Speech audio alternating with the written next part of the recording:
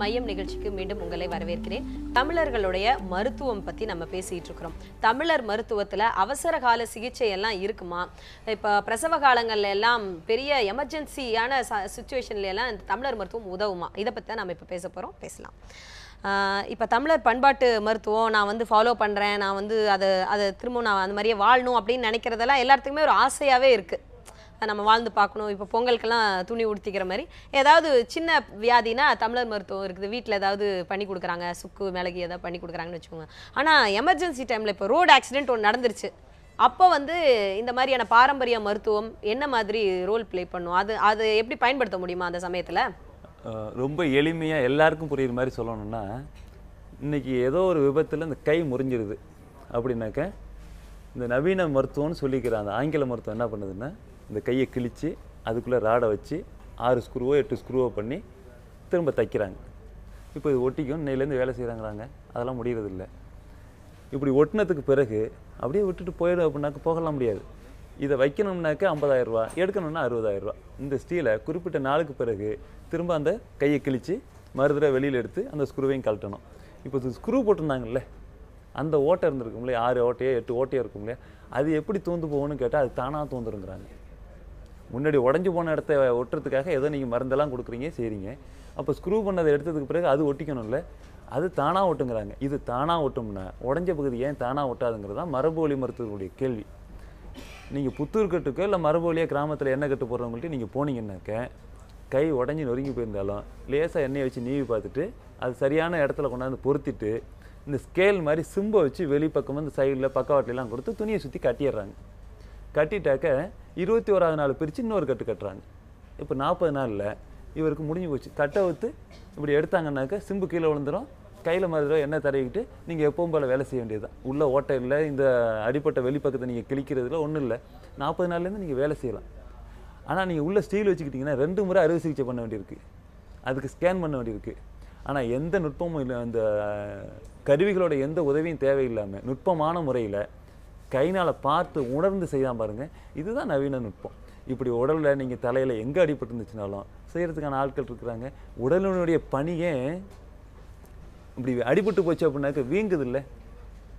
இந்த வீக்கமே லொக்கேஷன் மாறி போயிடுது. உடம்புல இருக்கிற உறுப்புகள் அடி அந்த விபத்தின் காரணமாக இடம் மாறி போயிடுச்சுனாக்க அப்படியே சரியாக முடியாது. இப்படியே அந்த கை வீங்காம இருந்து இப்படியே சரியாக முடியாது. இங்கே வீங்குனுச்சு அப்படின்னாக்க ஒரு அழுத்தம் கொடுத்து தசையில் அடர்த்தி ஏற்படுத்தி அது தள்ளுது. அப்போ அது அது எந்த இடத்துக்கு போகணுமோ அந்த அளவுக்கு தள்ளி விட்டு அதை பொறுத்துற வரைக்கும் அந்த வீக்கம் இருந்து அது பிறந்ததுக்கு அப்புறம் தான் அந்த வீக்கம் வடியுது.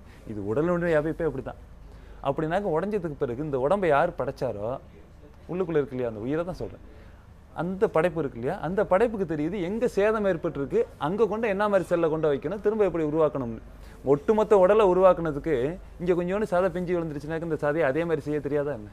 அந்த நுட்பம் உள்ளே இருக்குது. அதை கவனிக்கிறதே இல்லை நம்ம. அதை விட்டுட்டு வெளியில் போய் தேடுறோம். அது இன்னைக்கு ஆங்கில மருத்துவம் இழுத்துட்டு போகிற பாதை வந்து சாதாரண ஒரு ஆள் விபத்துக்குள்ளாயிட்டார் அப்படின்னாக்க அவர் இருக்கிற அந்த நிலங்களாம் மாடு மாடு கோழி இல்லை வேறு எங்கேயா பேங்க் பேலன்ஸ் வச்சுருந்தாருன்னா எல்லாத்தையும் கொண்டாந்து போட்டுட்டு திரும்ப போய் வீட்டில் போய் கடையாக கிடக்க வேண்டியதுதான். என்னுடைய மாமனாருக்கு பதிமூணு ஏக்கர் நிலத்தை விற்றாங்க இரநூத்தொம்பது பவுனை விற்றாங்க ஊர்லேருந்து பட்டுக்கோட்டையிலேருந்து பஸ் ஏற்றி சென்னைக்கு கொண்டுகிட்டு வந்திருக்கிறாங்க. எனக்கு திருமணத்துக்கு முன்னாடி. ஆனால் திரும்ப இங்கே சென்னையிலேருந்து அந்த இரநூத்தொம்பது பவுனை விற்று பதிமூணு ஏக்கர் நிலம் விற்றுட்டு இங்கேருந்து ஒரு ஆம்புலன்ஸில் கொண்டாந்து வீட்டில் இறக்கி விட்டாங்க. அவர் படுத்தே இருந்தார். படுக்கையிலே மலஞ்சலம் போனார். அப்படி இறந்து போயிட்டார். ஆனால் அவர் மரபு மருத்துவத்தில் இப்படியான கேடுகள் இல்லை. பார்த்த உடனே இவன் உயிர் பிழைப்பானா பிழைக்க மாட்டானாங்கிறது நாடி பார்க்கும்போது முகம் பார்க்கும்போது தெரியும்.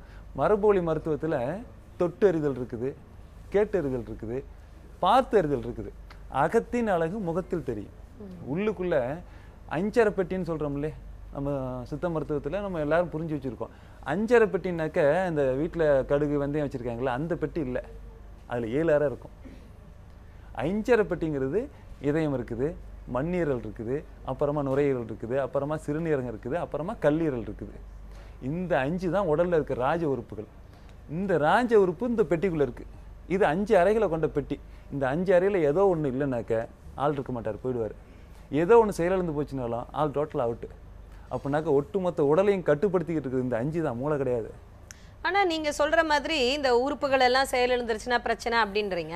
ஆனால் twenty four into seven emergency கேருக்கான ஹாஸ்பிட்டல்லாம் இருக்குது அங்கெல்லாம் ஏதாவது பிரச்சனைனா உடனே டிரான்ஸ்பிளான்டேஷன்லாம் பண்ணுறாங்க கிட்னி ஃபெயிலியர் ஆகிடுச்சா உடனே கிட்னி மாற்றுறாங்க லிவர் மாற்றுறாங்க அப்படிலாம் பெரிய அளவுக்கு டெக்னாலஜி வளர்ந்துருக்கு சார் அதையும் நம்ம ஒத்துக்கணும்ல. நீங்கள் வந்து என்ன சொல்கிறீங்க இந்த மாதிரி அஞ்சு அறைகள் இருக்குது. ஏதாவது ஒன்று ஸ்பேர் பார்ட்ஸ் ஒன்று போச்சுன்னா அவ்வளோதான் ஆள் போயிடுவான்றீங்க. ஆனால் எமர்ஜென்சி கேர் மருத்துவமனையெல்லாம் இருக்கே. இந்த முத முதல்ல அறுவை சிகிச்சையை மாற்று அறுவை சிகிச்சையை பண்ணி பிரபலம் பண்ணாங்க இல்லையா? அது ஹிதேந்திரங்கிற பையன் வந்து விபத்தில் இறந்து போனார் ஒரு மருத்துவருடைய பையன். அவருடைய இதயத்தை எடுத்துட்டு போய் சிவரஞ்சனின்னு ஒரு ஒன்பது வயசு பொண்ணுக்கு ஆந்திரான்னு நினைக்கிறேன். அந்த பொண்ணு கொண்டு போய் வச்சாங்க. பெங்களூர். பெங்களூர். அந்த பொண்ணுக்கு அந்த மாற்று அறுவை சிகிச்சை பண்ற வரைக்கும் அவள் முழிச்சுக்கிட்டு இருந்தா அம்மா அப்பாவோட பேசிக்கிட்டு இருந்தா பெட் ரெஸ்டாக இருந்தா சாப்பிட்டுக்கிட்டு இருந்தா எல்லாம் செஞ்சுக்கிட்டு இருந்தா. ஆனா இதே மாற்று அறுவை சிகிச்சை பண்ணும்போது அவங்க அப்பா பண்றதுக்கு முன்னாடி அவங்க அப்பா கோடீஸ்வரன்.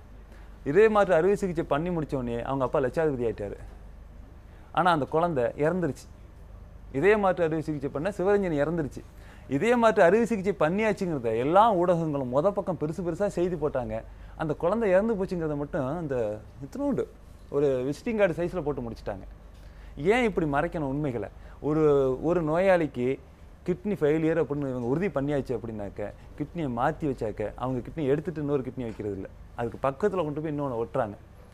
அதை இந்த உடம்பு வெளியே தள்ளிடக்கூடாது அப்படிங்கிறதுக்காக அலர்ஜியாக இருக்கும். வேற்று ஃபாரின் பாடின்னு சொல்கிறாங்க அவங்களே. இன்னொருத்தருடைய கிட்னியை வந்து உடம்பு ஏற்றுக்கிறது இல்லை அப்படி உள்ளே வந்துருச்சுன்னா அதை வெளியே தள்ளுறதுக்காக அந்த உடம்பு எப்படி இங்கே தூசி வந்தால் காய்ச்சின்னு ஒரு தும்மலை போடுதோ அது மாதிரி கிட்னியை கூட இன்னொருத்தர் அது இன்னும் வே வேற்றாக தான் பார்க்குது. அதை வெளியே தள்ளுறதுக்காக ஒரு போராட்டம் நடந்துக்கிட்டு இருக்கு. அலர்ஜி இருக்குது உடம்புல. அதுக்காக ஆன்டி அலர்ஜி ட்ரக்ஸை கொடுத்துக்கிட்டே இருக்கிறாங்க. அந்த ட்ரக்ஸ் நீங்கள் குறைஞ்சபட்சம் ஆறாயிரம் ரூபாய்க்காவது சாப்பிட்ணும். இது வரைக்கும் உறுப்பு மாற்று அறுவை சிகிச்சை பண்ணி இந்த கண்ணை தவிர கண்ணில் மட்டும் எதை லென்ஸ் வைக்கிறாங்க அதை உடம்பு ஏற்றுக்கிட்டு இருக்குது. அதை தவிர உடல்ல எந்த உறுப்பு மாற்று அறுவை சிகிச்சை பண்ண நபர்களும் நல்லா இல்லை உயிரோட இல்லை. பத்து வருஷம் பன்னெண்டு வருஷமெல்லாம் வாழ்ந்தவங்களாம் இருக்காங்கல்ல சார்? அந்த மாதிரி சொல்றாங்களே. நாங்க வந்து கிட்னி ரீப்ளேஸ் பண்ணிட்டேன் நான் நல்லா இருக்கேன் அப்படின்லாம் அவங்கள திரும்ப இன்னொரு தடவை நீங்கள் ஸ்கேன் பண்ணணும். ஸ்கேன் பண்ண இப்போ வேலை செஞ்சுக்கிட்டு இருக்கிறது இவங்க கிட்னியா இவங்க வச்ச கிட்னியான்னு பார்க்கணும். அவருடைய சொந்த கிட்னி வேலை செஞ்சுக்கிட்டு இருக்கும். ஆனா நீங்க சொல்ற மாதிரி ரெகுலர் செக்கப்புக்கு போக வேண்டியது இருக்கும். அடிக்கடி ஏதாவது டேப்லெட். சாப்பிட்டே இருக்கணும். அந்த மாதிரி இருக்கு. செலவு இருக்கும். இப்போ அதே ஒன்று உங்களுக்கு கிட்னி ஃபெயிலியர்னு சொல்லிட்டாங்க. இதே கிட்னியை மாற்று அறுவை சிகிச்சை பண்ணணும் இன்னொருத்தர்லேருந்து வாங்கி வைக்கணும்னு சொல்லிட்டாங்க. ஓகே ஒன்று இருக்கட்டும். மாற்றி வச்சா நீங்கள் பொழைச்சிக்குவீங்க இன்னொருத்தர் சொல்கிறாரு இல்லைங்க உங்கள் கிட்னி ஃபெயிலியர் தான். ஆனால் இதெல்லாம் ஒன்றும் செய்ய வேண்டாம்.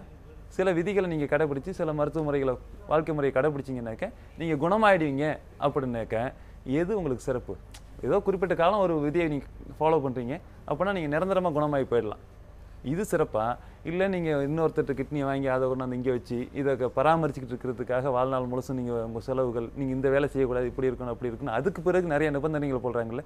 இது சிறப்பான தேர்வு பண்ணாக்க எந்த மனிதனும் நீங்கள் குடும்பத்தை நல்லா வாழணும் ஆரோக்கியமான வாழ்க்கை வாழணும் ஆள் தேர்வு பண்ணுறாரு இல்லை நான் குணமாகறத கொஞ்ச நாள் நான் செய்கிறேன் அப்படிங்கிறது தான். இப்படி குணமாகறதுக்காக தன்னுடைய வாழ்க்கையில் இருக்கிற பழக்க வழக்கங்களை மாற்றிக்கிறதுக்கு தயாராக இருக்கலாம் மனுஷன். ஆனால் அவனுக்கு வழிகாட்டுற மருத்துவர்கள் இங்கே இல்லை. உனக்கு கிட்னி இப்போ ஏதோ ஒரு செயல் வந்து குறைஞ்சிருக்கு இல்லை செயல் மந்தமாயிருக்கு அப்படின்னாக்க இந்த வி- இந்த விஷயங்களை நீ மாற்றிக்கிட்டீனாக்க அது சரியாயிடும் அப்படின்னு வழிகாட்டுற மருத்துவர்கள் இல்லை.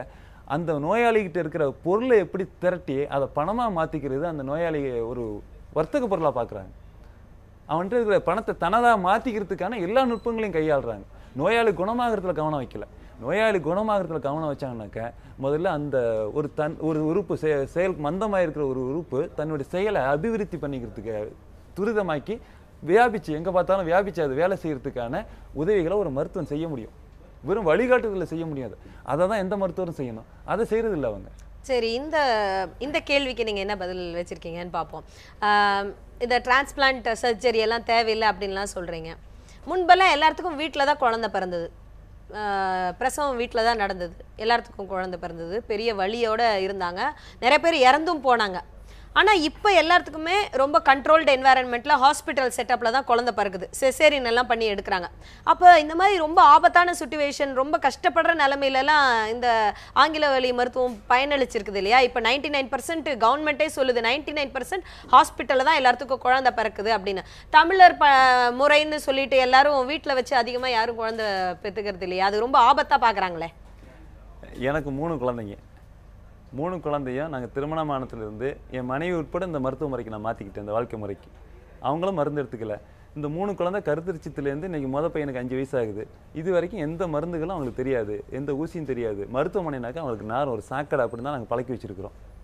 அப்படின்னாக்க இன்னைக்கு உடல் பத்தின தடுப்பூசி கூட போட்டிருக்கு எதுக்கு போடணும்? தடுப்பூசி இல்ல இந்த தடுப்பூசியை. பத்தி உங்களுக்கு சொல்றேன் திரும்ப சொல்றேன் ஞாபகப்படுத்துங்க எனக்கு. இது வரைக்கும் எந்த மருந்து இல்லாம மூணு குழந்தைகளை பெற்று எடுத்துருக்கோம் வீட்டில் பெற்றிருக்கிறோம் மூணு குழந்தையுமே மூணு பிறந்திருக்கா? வீட்டுல பெற்றிருக்கிறோம். எந்த ஆங்கில மருத்துவ அறிவும் படைத்த எந்த நபர்களும் இல்லாம முன்னாடியே பிரசவம் பார்த்தவங்க இல்லாம நானும் எங்க அம்மா வந்து பார்த்துருக்குறோம் எங்க பிரசவத்தை. பிரசவம் பார்க்கிறது அது ஒரு நிகழ்வு. பிரசவம் நடக்கும். அது ஒரு சம்பவம்.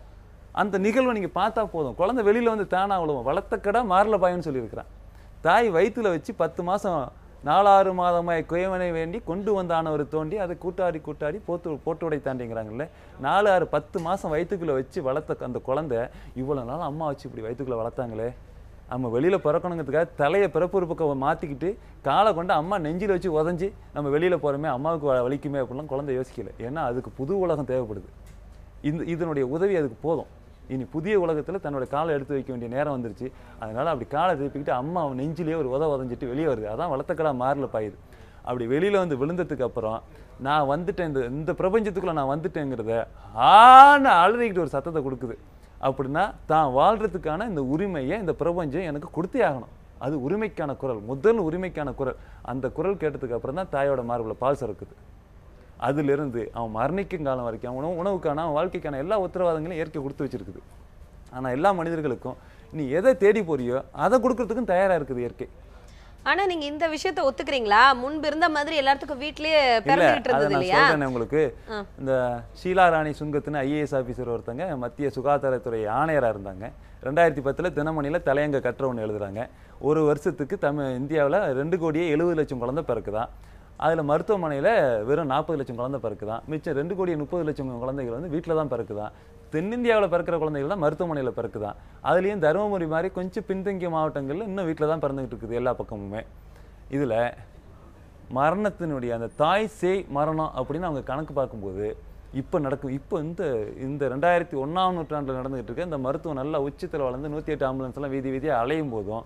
அவங்க சொல்கிறது என்னன்னாக்க மருத்துவமனையில் நடக்கிற பிரசவங்களுக்கும் வீட்டில் நடக்கிற பிரசவங்களுக்கும் தாய் சேயினுடைய இறப்பு விகிதம் பெரிய வேறுபாடு இல்லை. வீடுகளில் நடக்கிற பிரசவம் பாதுகாப்பானதாக இருக்குது. அதனால கிராமத்தில் இருக்கிற செவிலியர்களை தாய் அந்த தாய் சேய் நல செவிலியர்களை நீங்கள் உருவாக்குற வேலையை மட்டும் செய்யுங்க. இதுக்கு டாக்டர்ஸ் வேண்டியது இல்லைங்கிறது அவங்களுடைய பரிந்துரை. மத்திய சுகாதாரத்துறை ஆணையருடைய பரிந்துரை. இது வந்து நம்மளுடைய வெறும் வாய் வார்த்தை இல்லை. புள்ளி விவரம் அவங்களுடைய எழுத்து. இது ஒரு அங்கீகரிக்கப்பட்ட ஒரு பத்திரிகையில் வந்த செய்தி இது. அரசு ஆணை வேறு அது அரசாங்கத்துடைய அதிகாரப்பூர்வமான அறிவிப்பு. அப்படின்னாக்க எதை நம்ம அளவுக்குள்ள எடுக்கிறது? எப்போ ஒரு பழம் பழுத்துருச்சோ அது விழுந்தே ஆகணும். மரத்தில் இருக்கவே முடியாது. ஒரு குழந்தை முதிர்ச்சி அடைஞ்சிச்சுனாக்க பிறந்து தான் ஆகும். அது உள்ளே இருக்காது. தாய்க்கு வலி இருக்கலாம். அவங்களுடைய வாழ்க்கை விதிமுறைகளை பொறுத்து வழி இருக்கலாம். இப்போ ஐயா பேசும்போது சொன்னாங்க பத்து மணிக்கு தூங்கணும் அப்படின்னு. பத்து மணிங்கிறது இல்லை ஒம்பது மணிக்கு தூங்கலாம். அதுக்கு மேலே அவங்க தூங்காமல் இருந்தாங்க அப்படின்னாக்க பிரசவ காலத்தில் கடுமையான வலி இருக்கும். அவங்க தூக்கம் சரியாக இருக்கும். சரியான வாழ்க்கை முறையில் இருப்பாங்கனாக்க அந்த பழம் நழுவி பாலில் விழுந்தது மாதிரி குழந்தை வலிக்கிட்டு விழுந்துடும் இவங்களுக்கு வழியே தெரியாது. ஒரு மலை சலம் கழிக்கும்போது எவ்வளோ சுகம் இருக்குமோ பிரசவம் ஒரு சுகமான நிகழ்வு. அந்த சுகமான நிகழ்வாக அது மாறும். இன்றைக்கி வழியாக மாற்றி வச்சுட்டாங்க. அப்போ வாழ்க்கை முறை தான் மாற வேண்டியிருக்குது. இதெல்லாம் நம்ம கடந்து போக வேண்டிய நேரமும் அந்த நெருக்கடியும் நம்மளை சூழ்ந்து இருக்குது பிரசவங்கிறது அப்படி எப்படி நடக்கணும் பயன்படுது ஒரு ஒரு மருத்துவர்கிட்ட போய் இன்னைக்கு பார்த்துக்கிட்டே இருக்கிறாங்க அப்படின்னாக்க அந்த மருத்துவர் இன்னைக்கு உங்களுக்கு எல்லாம் பார்த்துக்கிட்டே இருக்கிறாரு. கற்பமான காலத்திலிருந்து பத்தாவது மாதம் வரைக்கும் ஒரு மருத்துவர்கிட்ட கிட்ட போய் ஆலோசனை கேட்டுக்கிட்டு இருக்கிறாங்க. அவர் சொல்றபடி தான் நடந்துக்கிறாங்க. அப்படின்னா எனக்கு சுகமாக தானே பிரசவம் பண்ணி கொடுக்கணும்? நீங்க சொன்னது தானே கேட்டேன். ஏன் எனக்கு வயித்துல கத்தி வைக்கிறீங்க? திரும்ப ஆப்ரேஷன் பண்ணதுக்கு அப்புறம் என் வயிறு சுருங்க மாட்டேங்குது இல்ல அப்போ நான் ஒரு என்னுடைய ஒரு பெண்மைக்கான ஒரு தோற்றத்தை நான் இழந்து வயிறை பெருத்து வச்சுக்கிட்டு ஒரு மாதிரி அது நடமாட வேண்டியிருக்கு. எனக்கு அது பிடிக்கல. அப்படின்னா இந்த மருத்துவத்துக்கான பணி என்ன? அதுக்காக இருக்கு. ஆழமான கேள்வியா இருக்குது உங்களுக்கு. இன்னும் நம்ம பேசலாம். ஒரு பிரேக் எடுத்துட்டு நம்ம தொடர்ந்து பேசலாம். ஏங்கல்ஸ் ராஜா கேட்ட கேள்வியெல்லாம் ரொம்ப நம்மளுக்கு கேட்குறப்ப உண்மைதானே அப்படின்னு ஒரு எண்ணத்தை வந்து ஏற்படுத்துது. இந்த மாதிரி வீட்டிலலாம் நிறைய இடங்கள்ல பிரசவங்கள் நடந்திருக்குது. முன்பும் நடந்திருக்கு இப்பயும் நடந்துகிட்டு இருக்குது. அதுக்கு ஒரு உதாரணமாக தன்னோட வாழ்க்கையிலேருந்தே ஒரு உதாரணத்தை காட்டியிருக்காரு. தன்னோட வீட்டில் தான் தன்னுடைய மனைவிக்கு மூன்று குழந்தைங்களும் பிறந்தது அப்படின்னு ஒரு சமகாலத்தில் இருக்கிற ஒரு மனிதர் சொல்கிறத கேட்குறப்ப கண்டிப்பாக நம்மளுக்கு ஒரு நம்பிக்கை வருது. ஆனால் கூட இன்னும் நிறையா நம்மளுக்கு கேள்விகள் இருக்குது பாரம்பரிய மருத்துவம் நம்மளுடைய ஆயிலையெல்லாம் கூட்டுறதுக்கு இப்போ ஆங்கில மருத்துவம்லாம் வந்ததுக்கு அதுக்கப்புறம் தான் ஆயில் அதிகமாயிடுச்சு அப்படின்லாம் சொல்லி நிறைய கருத்து கணிப்புலாம் கூட சொல்லியிருக்காங்க. அதை பற்றியெல்லாம் நம்ம தெரிஞ்சுக்கலாம். ஒரு சின்ன பிரேக் எடுத்துக்கலாம். மையம் நிகழ்ச்சியில் ஒரு சிறிய விளம்பர இடைவேளை.